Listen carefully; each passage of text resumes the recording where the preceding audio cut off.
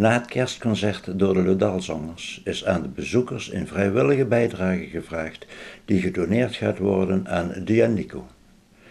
Dianico is onlangs opgericht door een zestal vrijwilligers van parochiecluster Tabor en heeft tot doel op laagdrempelige wijze door bijvoorbeeld voedselpakketten hulp te bieden daar waar nodig is. Er zijn een aantal mensen van Dianico hier aanwezig vanavond. En we hebben afgesproken dat wij een cheque zouden overhandigen. Een cheque uh, aan geld dat wij hebben kunnen ophalen tijdens ons kerstconcert afgelopen zondag. En uh, wij zelf waren heel verbaasd over de hoeveelheid aan gelden die wij hebben binnengekregen. En wij uh, willen die ook heel graag overhandigen aan jullie. En hopen dat jullie daarmee in ieder geval een steentje kunnen bijdragen aan het goede doel wat jullie hebben ten aanzien van een aantal parochianen in de Tabor, als ik het goed heb, Taborcluster. Ik ga heel voorzichtig, ja, zo hoort dat hè, heel voorzichtig Spannend. openen. En we beginnen dan inderdaad achteraan. Het zijn 10 cent. 10 cent. Oh, En daar komt En kom maar. een komma en een 1. Daar komt een 5 bij. Dus het zijn 51 euro en 10 centen. mooi. Maar daar komen nog een paar centen bij. Namelijk 900 euro komt er. Mag ik jullie Wauw, dit overhandigen? dat mag. Nou, En ik hoop dat jullie er een hele hoop leuke mooie dingen voor kunnen doen. Ja? ja, hartstikke bedankt. Dankjewel. Dankjewel eh Namens de allemaal. Leudalzangers. Alle zangers bedankt. Dankjewel.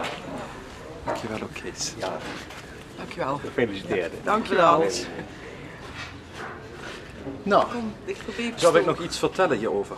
als je wil. Ehm, we hebben zes weken geleden hebben we als parochiecluster met een groep van zes mensen ehm, ons bijeengezet. Zijn we samen gaan zitten en dan hebben we gezegd we moeten iets doen. Eh, we hebben ook hulp gekregen vanuit de politiek, omdat er heel veel mensen zijn die eh, eenzaam zijn, maar ook heel veel senioren die best wel financieel in zwaar weer zitten. En ook mensen met een beperkte beurs, mensen die op een lichamelijk-geestelijke beperking zitten, maar ook gezinnen. We merken dat eh, de armoede steeds meer groeit, ook de stille armoede. En dan hebben we zes weken geleden gezegd, we willen een voedselbank oprichten. En die heet Dianico, naar diaconie, dienstbaarheid en Nicolaas, omdat Sinterklaas de vrijgevige is. U kent dat verhaal waarvan het schoen zetten, dat hij geld geeft voor een bruidschap. Bruidschat. En in die eh, zes weken hebben we nu al vijf gezinnen die we helpen. En we hebben als parochie gezegd, dat is ook een beetje ons vak, wij geloven. Wij gaan niet mensen vragen van kom maar hier met je papieren. We gaan eh, eh, bankrekeningen controleren. U weet dat sommige voedselbanken in Limburg, die hebben een wat strengere maat. Als je dan net 10 euro te veel krijgt, heb je pech. En we willen mensen niet in de kou laten staan. Want u weet, we hebben 1,2, 1,3 miljoen armen in Nederland. En dat cijfer groeit. De premier die sprak over een hele broze vaas. Maar die vaas die houden we met z'n allen inderdaad vast. En we moeten voorkomen dat wij eh, geen individualistische maatschappij worden. En we zijn heel erg blij, want dat hebben wij dankzij u als bestuur dat u gezegd hebt, we willen u steunen. Maar vooral dankzij u, want u hebt gezongen zondag. En ik moet ook eerlijk zeggen, ik had een paar keer bij bepaalde liederen dat eh, de buurvrouw naast me me aankeek en zei: Pastoor, er lopen tranen. Zo heeft het mij ontroerd, de zang. En u hebt voor mij gezorgd met die zang, niet alleen voor een mooi kerstcadeau, voor de mensen die het wat minder breed hebben, maar ook persoonlijk voor mij voor een mooi kerstgevoel. Want een pastoor die rent zich wat af in die periode, allemaal kerstvieringen, adventsvieringen. En toch zijn er van die mooie momenten van bezinning. En daarvoor wil ik u persoonlijk danken. En ook danken, want u als Leudalzangers, u laat dat weer zien, de maatschappelijke betrokkenheid. Maar ik noem alleen aan eens 4 mei, doordadenking. Dat u al vijf jaar dat bent. En met name ook op alle zielen, 2 november. En dan kun je wel eens knoten, och, dan zingen we weer in die kerk. Maar als u op 2 november zingt, dan zingt u niet alleen maar voor die mensen die troost vinden in uw gezang, maar u zingt ook voor diegenen die de Leudalzangers ondersteunen. En zelfs een koorlid wat onlangs ook is komen u te ontvallen. En toen hebt u ook gezongen in de Minderbroederskerk. Daarmee geeft u ook een steun af. En daarvoor wil ik u ook bedanken, maar ik bedank u ook namens ons werkgroep en namens uh, Annie en Sylvia. En we zijn er, ja, ik, ik, ik ben sprakeloos en er moet best wel wat gebeuren om mij sprakeloos te krijgen. Dankjewel.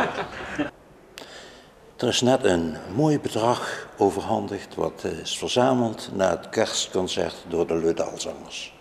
Is het gebruikelijk dat de Leudalzangers een goed doel zoeken naar zo'n evenement? Nou, dat is niet gebruikelijk. In die zin, we hebben in het verleden hebben we wel eens ooit een donatie aan een of andere uh, activiteit gedaan. Maar we hebben niet uh, de uh, intentie om iedere keer na een kerstconcert al onze centen uit te delen aan, aan anderen. Waar komt dit edele gebaar vandaan? dat komt van het volgende. We hadden, in onze begroting hadden we staan wat we nodig hadden voor ons kerstconcert. En, en daar, daar kwamen we netjes aan uit. En toen hebben wij als bestuur besloten om uh, de gelden die we zouden ophalen, om die te besteden aan een goed doel. Nou, en we hebben net gehoord van uh, meneer Pastoor dat het echt een goed doel is waar het geld echt ja. besteed kan worden. Het wordt inderdaad geschonken aan Dianico. En Dianico is een, ja, een hele jonge uh, organisatie mm -hmm. van de, de prochies waar Pastoor van Kant bij hoort. Mm -hmm. En dat, dat is heel goed geweest.